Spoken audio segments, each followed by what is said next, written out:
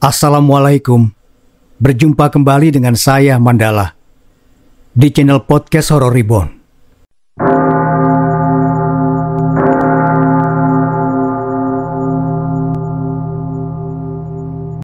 Brak! Bangsat! Ke mana anak sampai itu pergi, ha?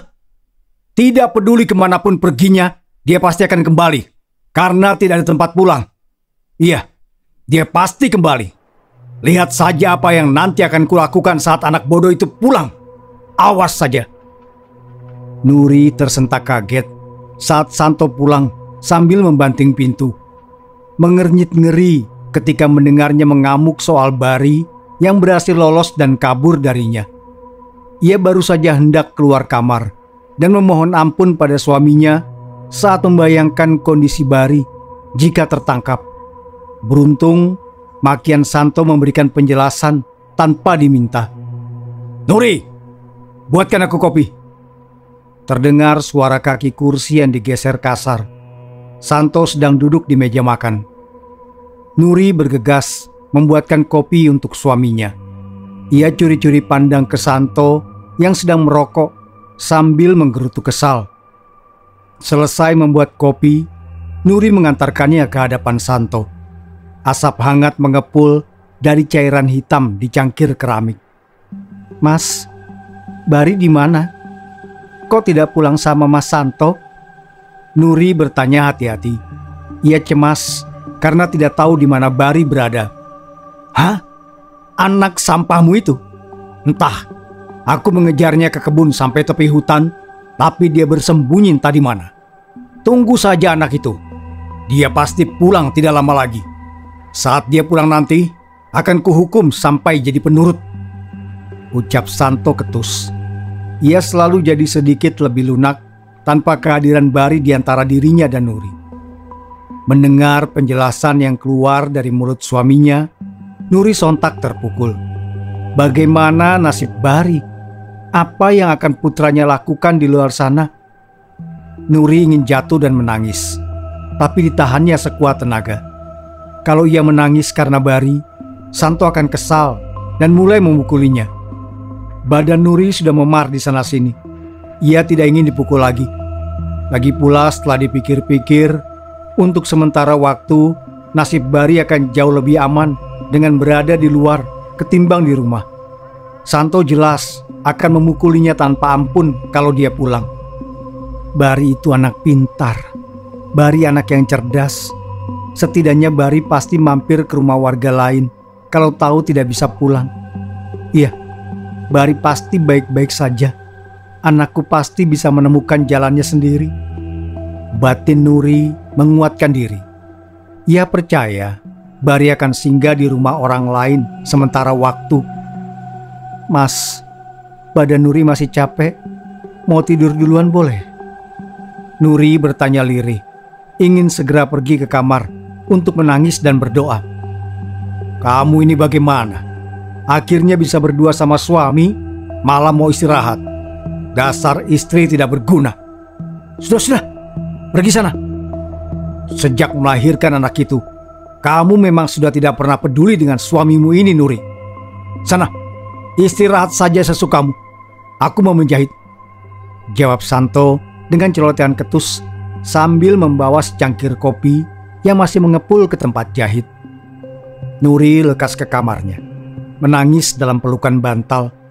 Tidak peduli sekeras apa pun ia berpikir positif. Fakta bahwa putranya tengah berada di luar rumah malam-malam begini tidak akan berubah. Rasa cemas dan khawatir semakin membesar seiring jarum jam berdetik. Nuri yang awalnya cuma berdoa dan menangis mulai menunggu kedatangan Bari. Sedangkan Santo tidak peduli.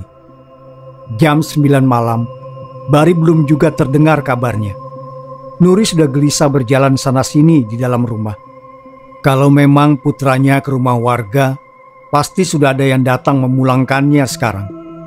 Sesekali Nuri keluar rumah dan memeriksa halaman belakang. Ia berharap entah bagaimana Bari muncul dari perkebunan. Tapi tentu saja itu hanya harapan. Yang Nuri lihat hanya pepohonan gelap di bawah sinar bulan.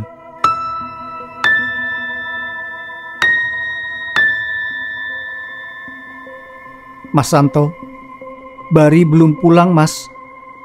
Serga Nuri saat suaminya pulang ke rumah. Jam menunjukkan pukul setengah sebelas. Hah? Memang apa urusanku dengan anak itu? Sudah kubiarkan tinggal di rumah ini sampai besar saja untung dia. Kalau pergi ya pergi saja. Bukan urusanku itu. Sahut Santo dengan suara meninggi. Ia tidak pernah senang membicarakan Bari. Ayolah mas, Bari anakmu juga. Mas boleh benci, tapi jangan seperti ini mas. Ayo cari Bari mas. Bujuk Nuri memelas. Sejak kapan dia anakku, ha? Dia itu anakmu. Aku tidak ingat pernah menginginkan anak itu sama sekali. Aku tidak pernah setuju kau hamil Nuri. Itu keputusanmu. Kamu membantaku saat aku minta untuk menggugurkan anak itu. Sejak saat itu, aku bukan lagi ayahnya. Sudah, sudah. Ayo tidur. Tidak usah pikirkan anak sampah itu. Kalimat Santo keterlaluan. Itu membuat Nuri menggeram marah. Wajahnya merah padam. Kalau Mas tidak mau, biar aku minta tolong sama warga untuk... Tamparan kencang mendarat di pipi Nuri. Membuatnya berhenti bicara. Andai rumah tetangga jaraknya rapat, sudah jelas tamparan tadi dapat didengar oleh orang lain. Namun kanan kiri rumah mereka ladang singkong milik orang. Tetangga terdekat jaraknya lebih 30 meter. Itu juga alasan Santo bisa leluasa melakukan kekerasan di rumah. Hah, dasar istri tidak berguna. Kamu mau lapor ke warga kalau aku yang sudah mengejar anak itu sampai tersesat ke hutan? Iya, kamu pikir bagus seorang istri yang mengumbar keburukan suami? Begitu caranya jadi istri yang baik, hah? Bang! Santo tampak murka menampar Nuri berkali-kali sampai terjatuh ke lantai. Membuat setengah wajah istrinya memerah kebiruan. Bahkan ada bercak darah di sudut bibir Nuri. Ia meringis kesakitan memegangi pipi. Santo selalu membabi buta kalau perintahnya ditolak. Pokoknya ayo tidur, istirahat. Besok pagi-pagi kamu harus bangun dan buatkan aku kopi. Aku mau kerja awal besok subuh. Ayo bangun ke kamar. Perintah Santo sambil menarik lengan istrinya berdiri. I, i, i, iya mas. Nuri menangis dalam hati. Sudut matanya membendung, siap tumpah. Ia menurut pada suaminya tanpa bisa apa-apa. Badannya lemah dan sakit semua. Menemani Santo tidur di ranjang, Nuri hanya bisa menangis dalam diam sambil memanjat doa untuk keselamatan Bari. Ibu harap kamu selamat, nak. Ibu yakin kamu sudah berada di rumah orang yang baik sekarang. Maaf, karena ibumu yang lemah dan tidak berani melawan ini. Malam kedua sejak Bari hilang, Nuri menangis terisak di atas ranjang, menguras sisa-sisa terakhir air mata yang ia miliki. Nuri tidak sendirian di rumah. Ada Mbak Tuti yang menemani, putri kepala desa yang umurnya beberapa tahun lebih tua darinya. Sabar Nuri, sabar. Pasti Bari ketemu kok nanti. Insya Allah. Bari anaknya kuat dan pintar. Kamu yang sabar ya menunggunya. Bari pasti pulang. Mbak Tuti mengusap punggung Nuri yang tengah menangis dalam-dalam di bantal. Badannya berguncang menahan gejolak tangis. Tadi pagi, setelah semalaman tidak bisa tidur nyenyak menunggu kepulangan Bari. Akhirnya, Nuri yang sudah tidak sanggup lagi berlari keluar rumah menuju ke kediaman kepala desa. Ia melaporkan hilangnya Bari tanpa mengungkit soal Santo yang mengejarnya sampai ke tepi hutan. Nuri menjelaskan situasinya tergesa-gesa pada Pak Kepala Desa. Hampir tidak jelas malah. Seperti sedang dikejar hantu atau semacamnya. Padahal Nuri sudah berjanji untuk tidak melaporkan perlakuan suaminya dan hanya akan pergi sebentar ke rumah Pak Lurah. Tapi Santo tetap tidak memberi izin dan malah marah Rasa khawatir pada Bari membuat Nuri berani melawan perintah Santo dan kabur. Sekarang, ia ingin segera pulang dan menepati janjinya yang bilang hanya akan pergi sebentar. Tapi, alih-alih membiarkannya pergi, kepala desa yang melihat kondisi wajah Nuri malah menahannya di rumah untuk ditanyai lebih lanjut. Beliau juga memanggil Mbak Tuti untuk membawakan air hangat dan handuk serta beberapa peralatan P3K. Dari situ, Nuri yang tidak bisa mengelak akhirnya terpaksa jujur soal luka-luka yang ada di sekujur tubuhnya. Penyebab memar di pipinya dan bagian tubuh lainnya. Mendengarnya, kepala desa murka. Beliau hendak melaporkan Santo dengan tuduhan kekerasan dalam rumah tangga. Sementara Mbak Tuti sudah menangis saat membersihkan punggung dan bagian tubuh Nuri lainnya. Nuri yang fokus utamanya menemukan Bari memohon pada Pak Kepala Desa untuk menahan laporannya soal Santo. Ia meminta dengan sangat agar memprioritaskan Bari yang keberadaannya entah di mana. Kepalang basah, Nuri sekaligus menceritakan alasan Bari bisa sampai hilang di hutan yang mana menambah kemarahan dalam diri kepala desa. Bahkan tanpa menuruti kemauan Nuri, kepala desa sadar betul kalau keselamatan Bari lebih utama. Beliau langsung memakai speaker masjid untuk mengumpulkan warga.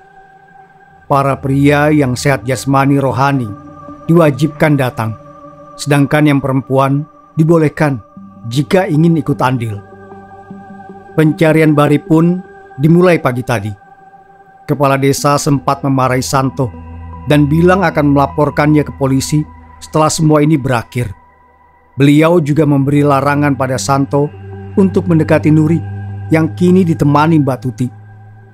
Tadi kepala desa meminta Nuri agar menetap di rumahnya hingga semua ini selesai. Tapi ia kukuh ingin pulang dan menunggu di rumah untuk menyambut kepulangan Bari. Jadilah kepala desa menyuruh Mbak Tuti pergi menemani Nuri di rumahnya sampai Bari pulang. Sembari memastikan Santo tidak mendekati istrinya.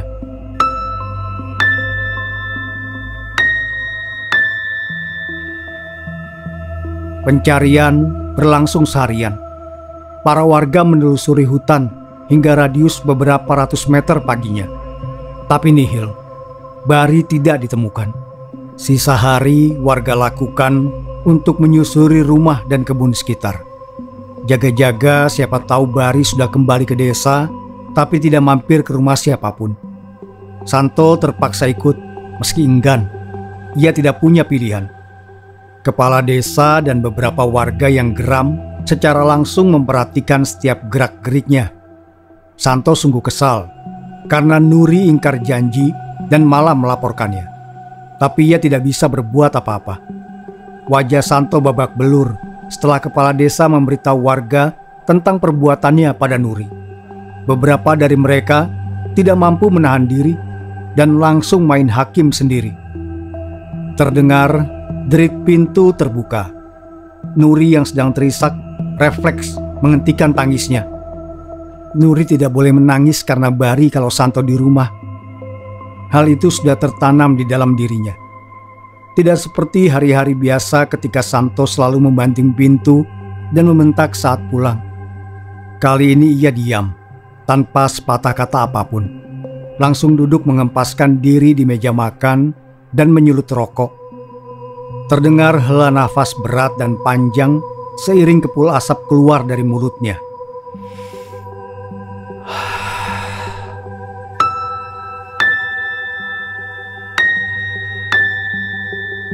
Nuri, menangis saja kalau masih mau menangis. Kamu tidak perlu menahannya. Biar aku yang bicara dengan suamimu. Mbak Tuti yang menyadari situasi berbisik pelan di telinga Nuri sebelum kemudian meninggalkannya keluar kamar menghampiri Santo. Bagaimana pencarian anakmu Santo? Ada kemajuan? Tanya Mbak Tuti ketus di hadapan Santo yang tengah menghisap rokok dalam-dalam. Umurnya lebih tua tiga tahun, jadi tidak merasa perlu hormat pada suami Nuri. Cih, dia bukan lupakan. Pencariannya belum membuahkan hasil. Entah anak itu ada di mana sekarang. Warga pulang karena sudah malam. Pencarian dilanjutkan besok. Dengan ketus, Santo menjawab. Kepulan asap putih keluar dari bibir dan hidungnya. Batuti bertanya bukan karena tidak tahu hasil pencarian. Kalau saja Bari ketemu, jelas ayahnya yang pertama kali kemari sambil heboh membawa kabar baik. Jika Santo yang pulang, jelas Bari masih berada entah di mana di luar sana. Ia bertanya karena marah dan kesal pada Santo yang bertingkah acuh tak acuh soal hilangnya Bari. Lalu kenapa kau malah ikutan pulang? Kau ayahnya Santo keluar dan cari lebih lama dari yang lain.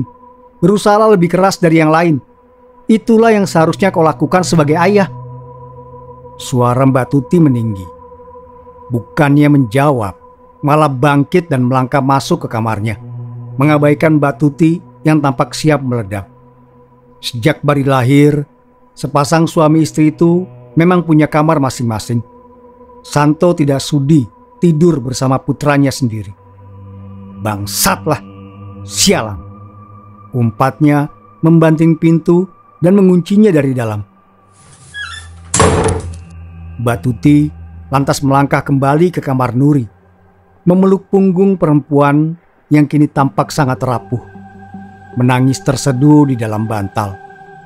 Ia mengusap kepala Nuri, berusaha menenangkannya dengan bisikan-bisikan semangat bahwa esok saat matahari terbit, Bari pasti akan kembali padanya.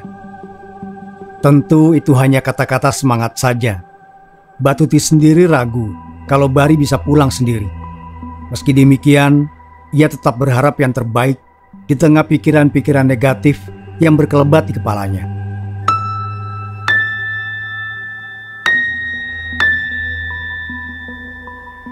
Malam sudah larut. Purnama bersinar terang di atas sana Nuri yang kelelahan setelah menangis seharian tertidur pulas. Melihatnya, Batuti memutuskan untuk istirahat juga. Masih ada hari esok yang membutuhkan banyak tenaga.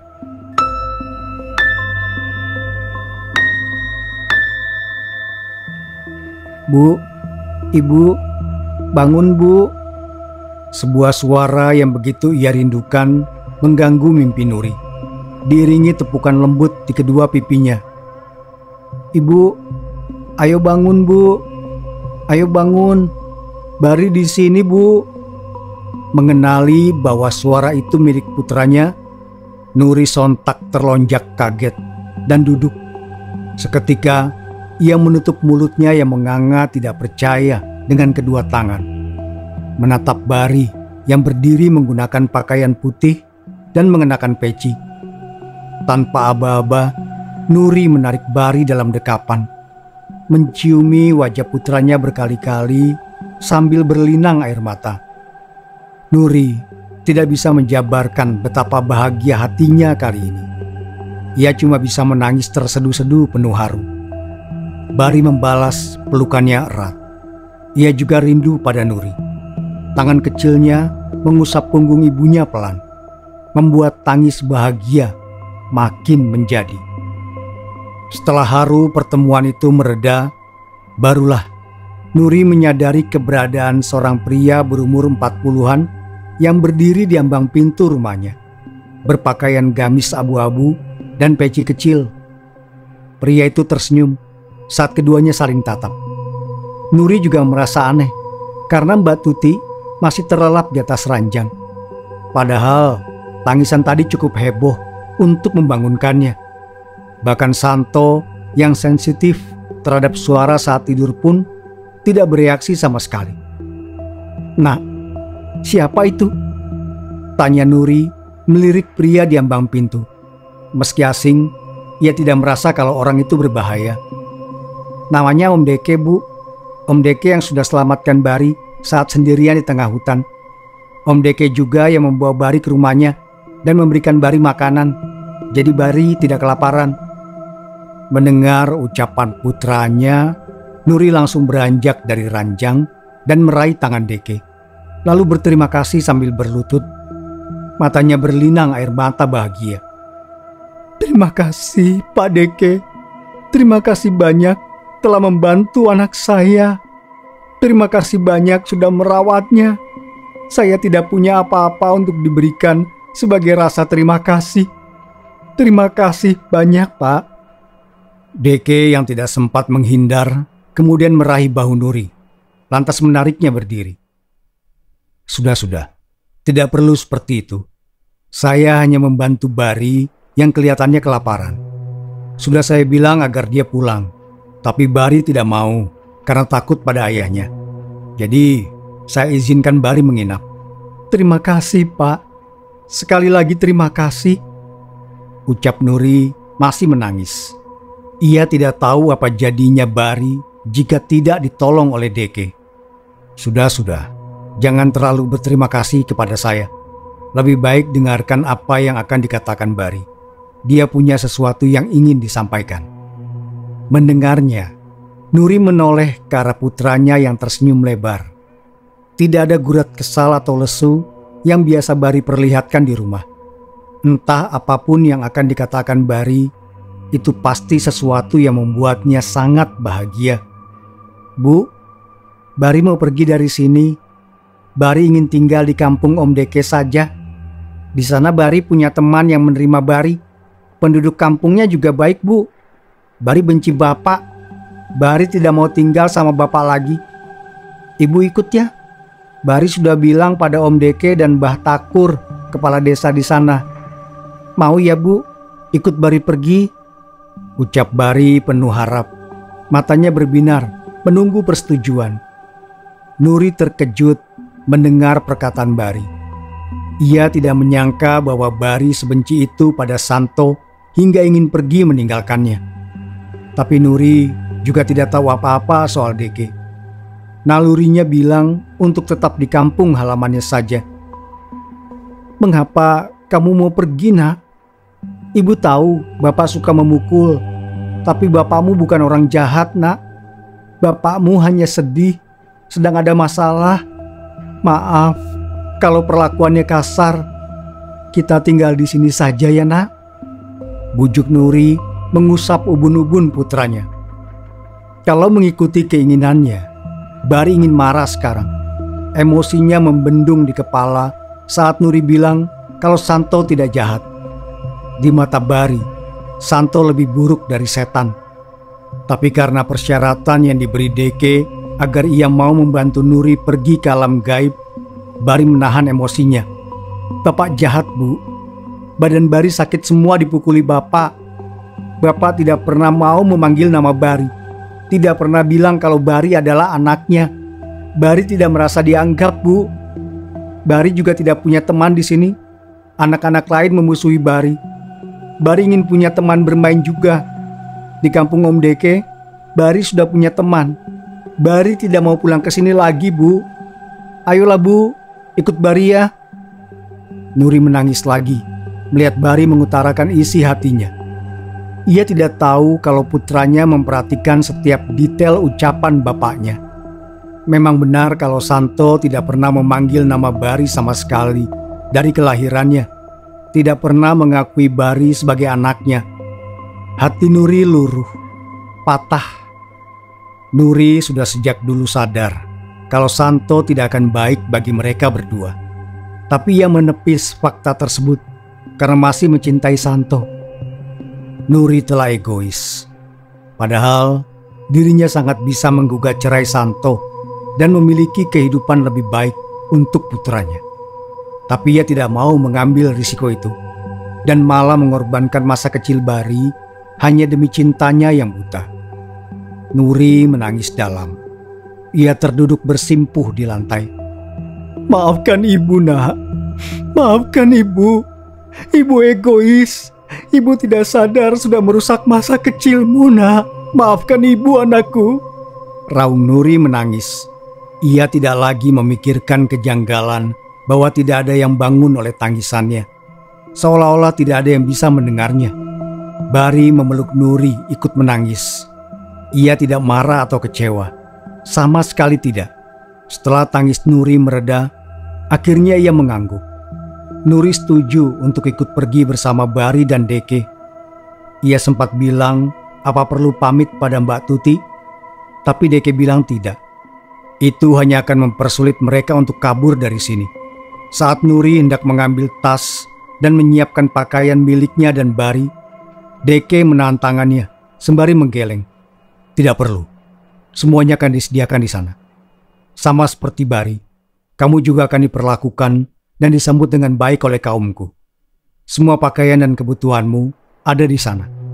Bari yang memintanya pada Mbak Takur. Lagi pula, kami selalu menyambut penduduk baru.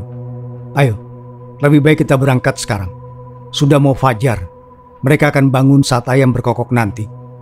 Ucapnya mengajak Nuri bergegas. Nuri mengangguk diam. Ia merasa ada yang aneh dengan kalimat Deke tadi. Tapi karena mereka buru-buru dan Deke tampak seperti orang baik-baik, ia tidak berusaha menggali ingatannya soal kalimat itu. Menganggapnya angin lalu. Mereka bertiga keluar rumah tepat sebelum Fajar menyingsing, meninggalkan kampung halaman Nuri. Nuri kemudian dibawa ke hutan. Ia sedikit heran saat suasana langit yang tadi gelap membiru mendadak berubah jadi kelabu. Nuri hendak bertanya pada Deke atau Bari soal itu. Tapi karena tidak ada yang bicara selama perjalanan, Nuri memilih diam sambil terus melangkah mengimbangi tarikan Bari di tangannya. Setelah beberapa saat masuk ke dalam hutan, Nuri terkesima melihat adanya sebuah perkampungan dengan rumah yang bentuknya terbilang asing itu. Banyak penduduk yang berseru melihat ketiganya mendekat. Mereka lantas berkerumun, lalu tersenyum hangat sambil melambaikan tangan. Beberapa anak malah langsung mendekati Bari dan mengajaknya main. Pakaian mereka sederhana dan polos. Aku main sebentar ya. Ibu ikut saja Om Deke menemui Mbak Takur. Nanti aku menyusul ke rumahnya setelah main sebentar. Seru Bari melesat mengikuti anak-anak lain. Nuri mengikuti Deke melangkah mendekati kerumunan. Mereka melambaikan tangan sambil tersenyum ramah. Membuat ia kikuk mengangkat tangan balas melambai. Para penduduk kampung kemudian memberi jalan pada Deke dan Nuri. Keduanya berjalan beriringan menuju salah satu rumah kotak yang atapnya berbentuk setengah lingkaran.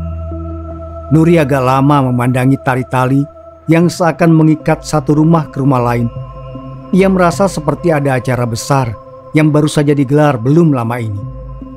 Sampai di rumah yang dituju, seorang pria tua sudah menunggu di teras sambil tersenyum.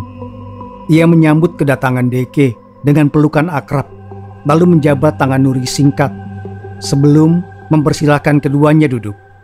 Ini Nuri mbah, ibunya Bari yang anak itu ceritakan kemarin.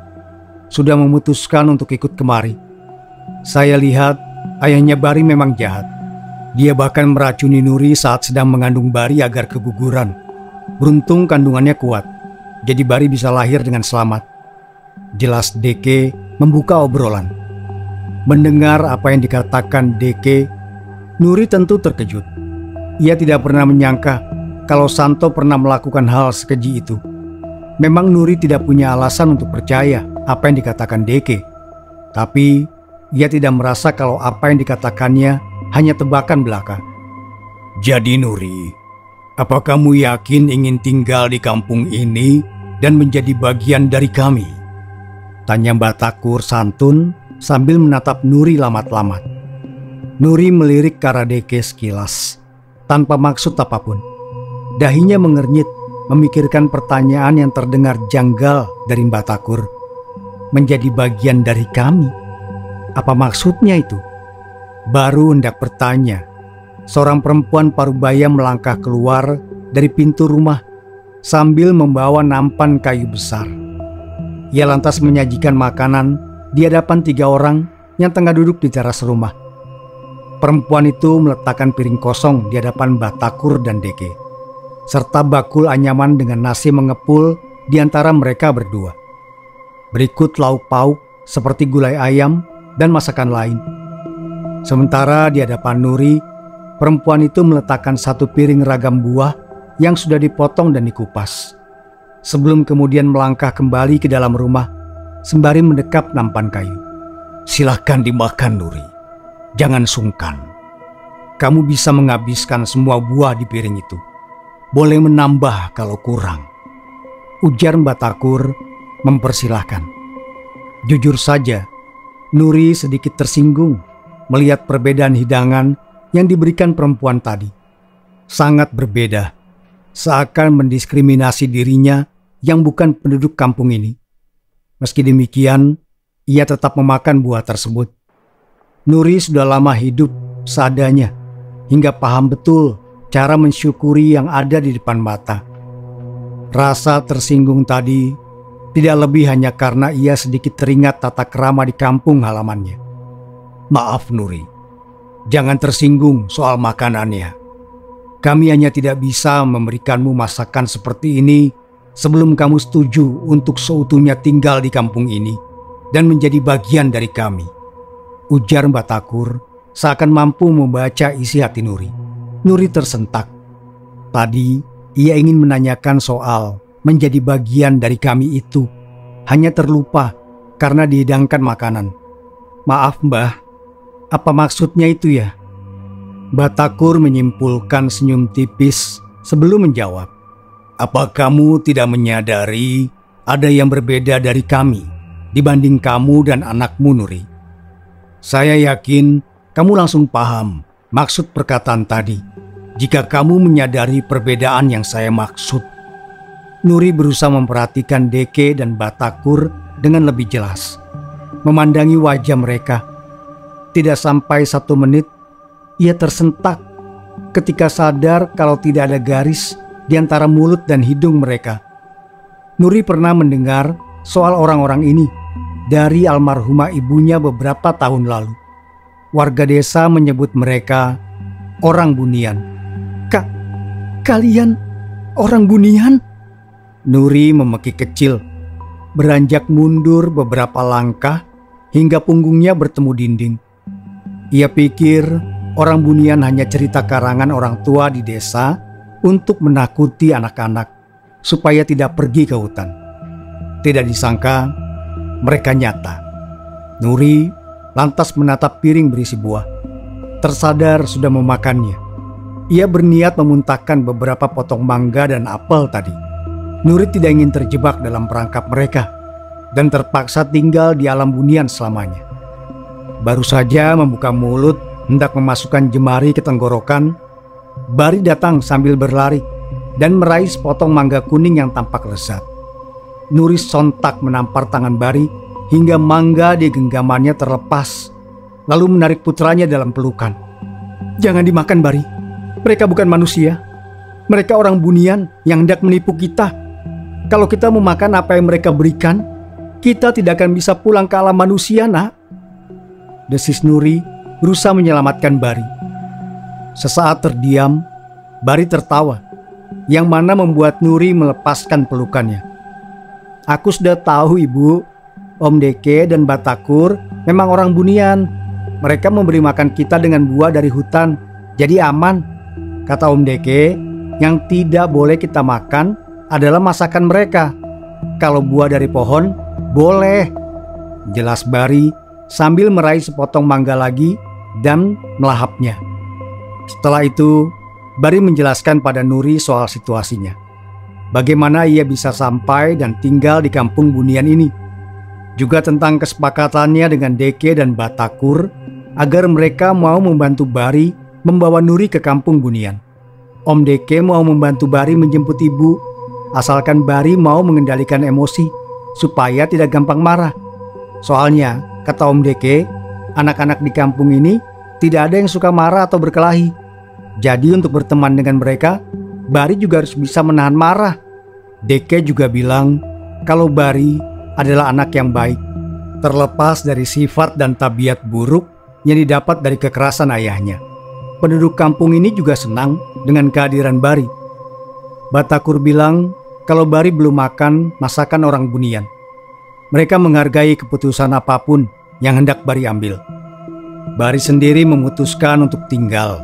Ia belum makan masakan dari alam ini hanya karena ingin mengajak ibunya untuk tinggal bersama.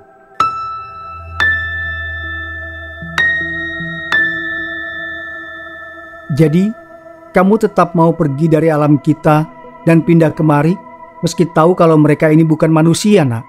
Tanya Nuri beberapa jam setelah sampai di kampung tersebut.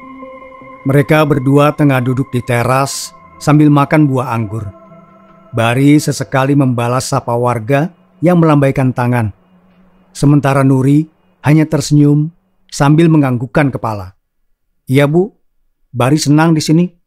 Tidak ada orang jahat seperti bapak yang suka memukuli Bari.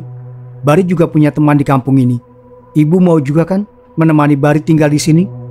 Celote Bari riang sambil memasukkan satu lagi buah anggur yang sudah dibuang bijinya oleh Nuri. Nuri menatap kejauhan. Dunia dari alam ini tampak kelabu dan muram. Langit selalu ditutupi awan kelabu sepanjang waktu. Siang tanpa matahari dan malam tanpa bulan bintang.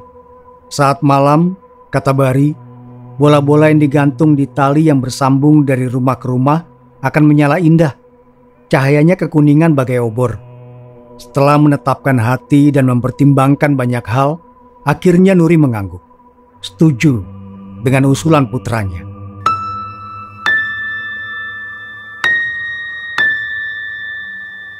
Warga dihebohkan saat paginya. Batuti pulang ke rumah membawa laporan bahwa Nuri hilang. Pak Lura sempat tak percaya, tapi Batuti yang menjelaskannya sambil menangis tidak mungkin berbohong. Warga desa dikerahkan untuk mencari dua orang yang kini hilang, Nuri dan putranya Bari. Entah berada di mana mereka. Kala itu, tepat saat Fajar menyingsing, menurut pengakuan Mbak Tuti, Nuri sudah tidak ada di kamar saat ia terbangun. Hal pertama yang didengarnya adalah suara pintu rumah Santo yang berdebam pelan tanda ada yang keluar. Namun, saat Mbak Tuti bergegas keluar dan memeriksa sekitar, tidak ada siapa pun. Warga menyimpulkan kalau Nuri dan Bari diculik orang bunian. Mereka lantas mencari ke sekitar hutan sambil memukul panci dan wajan. Mereka percaya itu bisa membantu orang yang diculik untuk pulang. Tidak seperti saat kehilangan Bari, Santo sama sekali tidak bisa bersikap cuek saat istrinya juga menghilang. Ia mulai panik mencari-cari Nuri dan Bari ke hutan sambil menangis. Berlari ke sana kemari, memeriksa setiap tempat. Warga menatapnya jijik. Mereka mencemooh Santo yang selama ini memukuli Bari dan Nuri. Tapi malah bertingkah tidak berdaya saat keduanya hilang. Pencarian berlangsung selama berhari-hari. Warga tidak menyerah karena memang umum kalau orang yang diculik ke alam gaib kembali setelah hilang selama seminggu atau bahkan lebih. Kondisi Santo memprihatinkan. Ia menangis seharian sambil mencari anak istrinya dan cuma makan satu kali. Bahkan dari hari ketiga pencarian, ia sudah tidak ikut dan hanya menangis di rumahnya. Setelah satu minggu, para warga yang lewat depan rumah Santo kerap melihatnya termenung duduk di teras. Tubuhnya kurus dengan pipi tirus. Ia terus menangis dan jarang makan. Meski demikian, tidak ada warga yang mengajaknya bicara atau menolongnya. Mereka terlanjur jijik setelah tahu kalau Santo suka memukuli Nuri dan bahkan Bari, anak kandungnya sendiri, sampai memar. Empati warga pada Santo sudah tandas. Pada hari ke-8, tepat tengah malam, kepala desa mendapat kunjungan dari Deke bersama Nuri dan Bari. Tidak dapat dipungkiri, kepala desa sangat senang karena dua orang warganya pulang. Tapi di lain sisi, ia juga penasaran dengan sosok Deke yang mengantar mereka. Ketiganya bergantian bicara pada kepala desa. Inti dari kunjungan tersebut adalah untuk memberitahu beliau agar tidak lagi mencari Nuri dan Bari. Bahwa keduanya sudah tidak lagi bisa pulang. Kepala desa tertegun mendengarnya. Saat beliau meminta penjelasan yang lebih detail, Bari menceritakan dari mana semua ini bermula. Mulai saat Bari dikejar Santo hingga tersesat, dini hari ketika Deke dan dirinya menjemput Nuri, hingga akhirnya mereka berdua memutuskan untuk meninggalkan dunia manusia ke alam bunian. Kepala desa tidak bisa berkata apa-apa selain menghela nafas panjang. Beliau turut prihatin atas apa yang dilakukan oleh Santo pada mereka berdua. Deke pun mengajak Nuri dan Bari untuk kembali. Mereka kemudian pamit pulang dan mengucap salam perpisahan pada kepala desa untuk yang terakhir kalinya. Dari, apa kamu tidak ingin pamit pada bapakmu, nak? Santo terus menangis panjang hari. Mungkin dia akan lega dan bisa bangkit kalau kalian pamit padanya. Tanya kepala desa sebelum mereka pergi. Beliau tidak bertanya pada Nuri, karena semua hal ini dilakukan demi Bari. Tidak sama sekali, Pak. Seperti bapakku yang tidak pernah menganggapku sebagai anak, aku juga tidak mau menganggapnya sebagai bapakku. Jadi aku akan pergi bersama ibu dan Om Deke tanpa pamit ke bapak. Setelah berkata demikian, Deke, Nuri dan Bari melangkah keluar pintu rumah, lalu menghilang bagai ditiup angin. Andai kepala desa tidak melihatnya secara langsung, beliau pasti berpikir kalau ini mimpi. Esoknya, kepala desa datang ke rumah Santo untuk menyampaikan kabar bahwa Nuri dan Bari sudah pergi ke alam bunian. Mereka berdua tidak ada niatan untuk pulang dan menemuinya. Mendengar itu, Santo meraung penuh derai air mata, meringkuk di lantai sambil memohon ampun dan maaf. Maafkan aku, Nuri. Maafkan aku. Maafkan aku, Bari, anakku. Bapak minta maaf, nak. Bapak mohon kalian kembalilah. Maafkan aku, Nuri. Bari. Racau Santo penuh sesal. Kepala desa merasa sedih melihatnya. Tapi tidak bisa berbuat apa-apa. Mau bagaimanapun, Santo menyesal dan meminta maaf. Anak dan istrinya sudah tidak di sini. Setelah hari itu, karena mentalnya begitu terpukul, Santo menjadi gila. Ia berkeliling kampung sambil terus menyebut nama anak dan istrinya. Bari, Nuri, Bari, Nuri.